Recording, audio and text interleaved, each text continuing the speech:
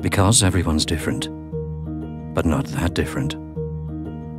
Because sometimes we put ourselves first, but more often others. Because we're mothers too. And boys will always be boys. Because we're sometimes unsure of ourselves and want to make the right choice. Because sometimes we want too much or too little. And don't always choose what's best for us.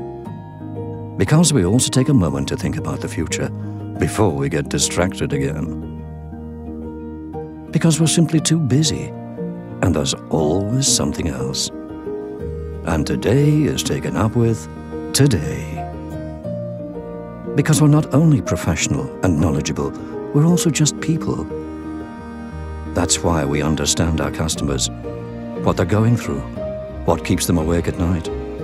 And we listen to them, think with them, do the sums for them, sketch things out for them, so they can make informed decisions. Because everything starts with caring for yourself, your colleagues, and the healthy financial future of our customers.